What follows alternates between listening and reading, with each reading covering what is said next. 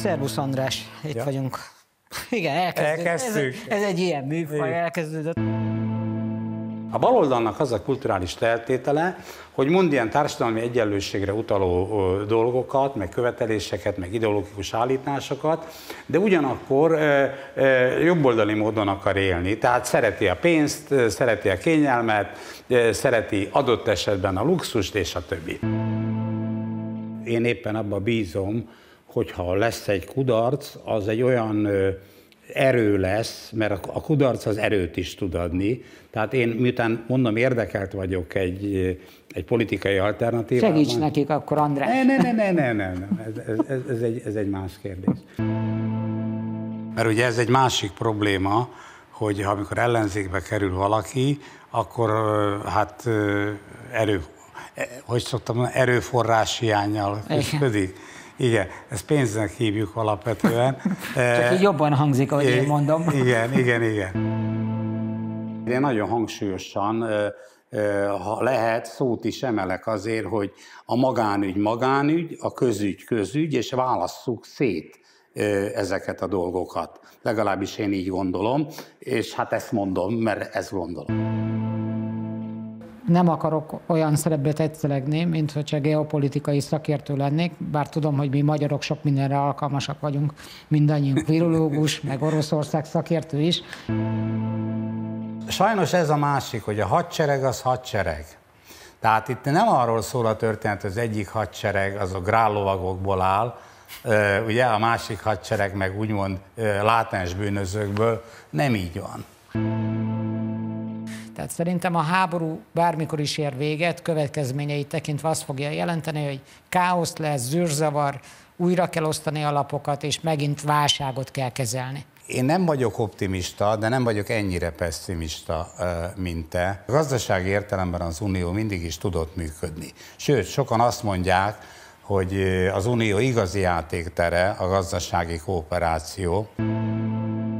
Te mondtál egy érdekes kifejezést, ez bántja a fantáziámat, ez a politikai fantázia. Igen. Hogy kellene egy politikai fantázia intézet, ez szerint a magyar politikai erőtér mögé, ami dobná be azokat a gondolatokat, amelyeket te hiányolsz.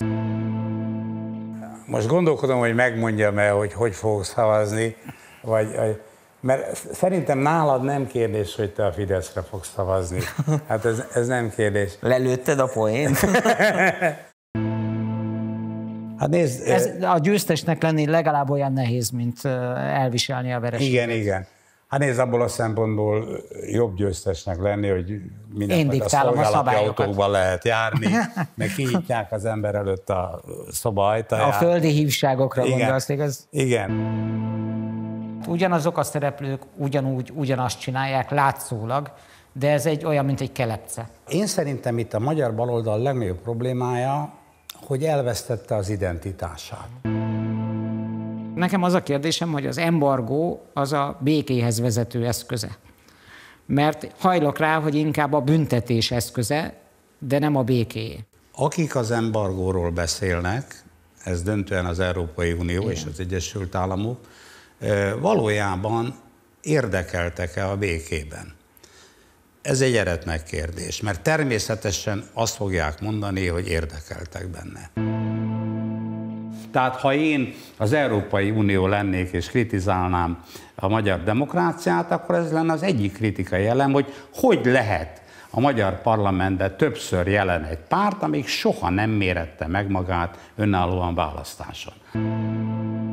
Egy kis ironikus megjegyzést engedj meg nekem, tehát ezt a, ugye azt a törvénytelen, most ironizálok, az a törvénytelen DK mondja, aki a törvénytelen pártként ül a törvénytelen parlamentben, eh, amelyik a hátterét adja a törvénytelen kormánynak. Hát. Szervusz András, itt vagyunk Szervusz, egy hosszú nyár után, úgy látom, hogy gerőnyomozó, meg géfodor nyomozó újra munkába állt. Igen. Bajjóslatú közeledik, milyen érdekes, hogy a ez a baljóslat, ez a negatív konnotációjú szó is a ballal kezdődik, de ezt majd, majd kitérhetünk rá, hogy van ennek valami magyarázata. Ők, a, ők korunk jobbikja, korunk miépje lett a DK.